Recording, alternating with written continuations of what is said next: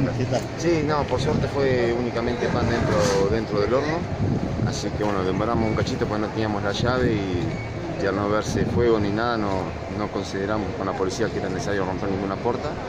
Eh, sacamos el pan del horno y nada más, así que por suerte ni, ni siquiera agua adentro le tiramos. eh, eh, el hollini y la, la limpieza del humo va a tener nada más. Como agarraba fuera del patio, ¿se podía haber agarrado adentro?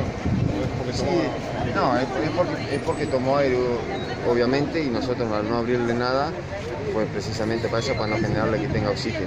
Pero a su vez el horno, el pan estaba dentro del horno, o sea que estaba, estaba compactado adentro. ¿El horno es automático? ese, ¿No cortó o se lo olvidaron encendido?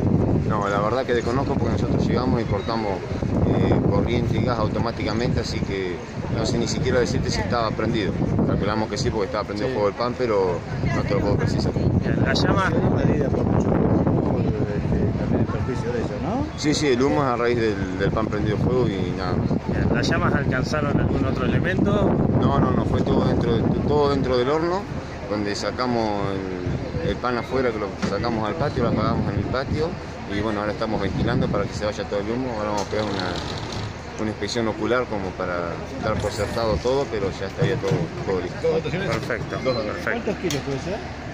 Muy bien, ahí Martín Ortigosa de Bomberos Voluntarios de Coronel Pringles, informando a Multimedio Pringles de lo sucedido en esta panadería y confitería de calle Avellaneda, vendría a ser calle 59 y 12 bis.